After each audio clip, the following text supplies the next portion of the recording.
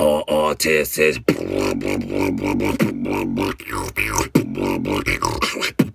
Please subscribe. So yeah, plane passengers are now fighting themselves.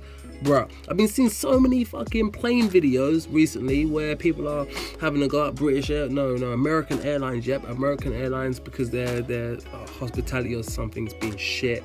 A lot of like arguments and fights on planes recently. Boom, at least there ain't terrorists. Let's just say that. Kabloom.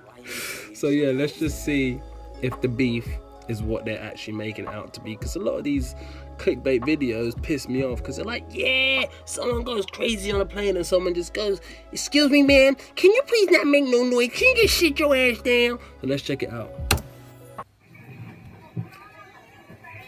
Oh shit, swingers. Bruh. Oh. Oh.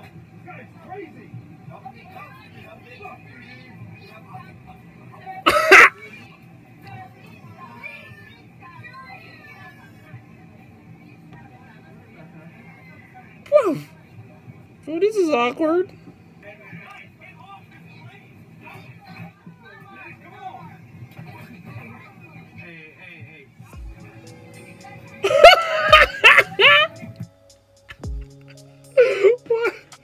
why the fuck did he stop filming?